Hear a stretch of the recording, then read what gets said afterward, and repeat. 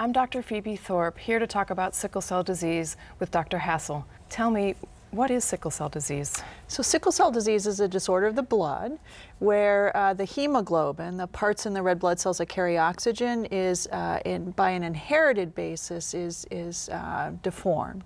And so one has to have two genes, one from mom, one from dad, to be abnormal in a way that can create sickling inside the red blood cell. Sickle cell disease is really interesting though because we think about it as a red cell disease because there's these abnormal genes inside the red cell. Mm -hmm. But actually what happens with sickle cell disease is that the red cells can circulate through the body and can break apart and cause damage from the contents that they spill into the organs and cause damage, but also can block the flow through the blood vessels.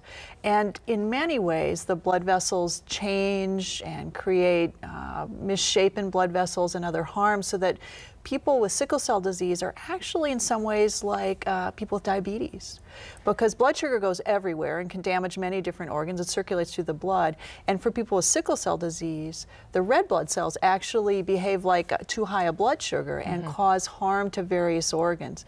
Most devastatingly, however, if those blood cells get stuck in the blood vessels, they actually can cause very severe pain when they uh, all of a sudden get blocked in one particular area and the blood supply is cut off to an area of the body, calling, uh, creating what's called sickle cell crisis or excruciating painful events that hit all of a sudden and very hard. Yeah, and they can affect, they also, you can get that blockage in the brain and in the spleen and the liver. It's, it's anywhere blood flows. Yeah, it actually, yeah. and it, as like diabetes, I often have uh, people and providers think about it that way because when a person with diabetes comes in, they don't just think about what is the blood sugar.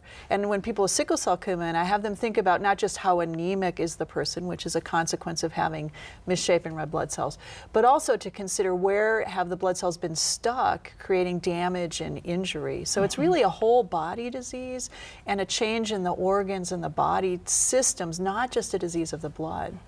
And so some things uh, like diabetes, there's prevention and there's treatment. What what in what are they doing in healthcare now for people with sickle cell disease?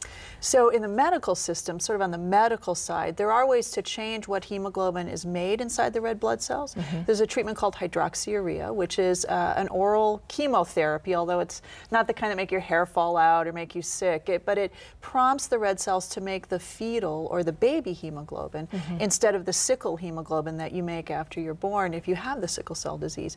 And so if if those cells don't sickle as much, they aren't as toxic or damaging to the rest of the body and the anemia is less severe.